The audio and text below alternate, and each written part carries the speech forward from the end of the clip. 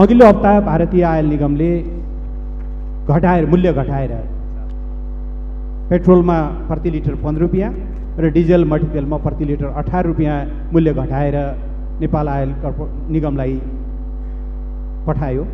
तर आज एक हप्ता भयो मूल्य घटाइएको छैन।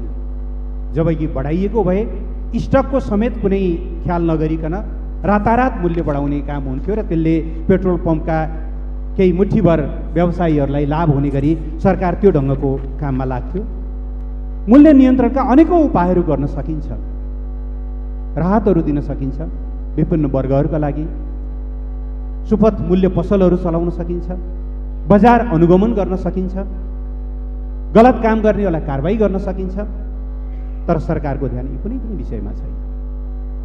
सत्तारूढ दलका नेताहरू कतिपय कार्यकर्ताहरू कतिपय मूल्य बढ्यो भन्ने बित्तिकै मूल्य बढ्यो समस्या हो भन्ने कुरा स्वीकार गर्नुभन्दा गर्नुको साटो कसले यो विषय उठायो?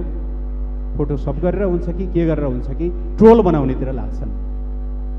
त्यसो गरेर अस्ति मैले यही विषय एउटा सार्वजनिक कार्यक्रममा बोलेको थिएँ।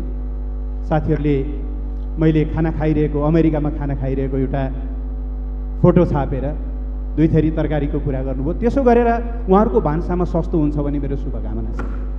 सस्तो होस्। तर के तपाईँहरूले विषयान्तर गरेर नेपालमा अचाक्ली ढङ्गले बढिरहेको मूल्यको मूल्य नियन्त्रण हुन्छ र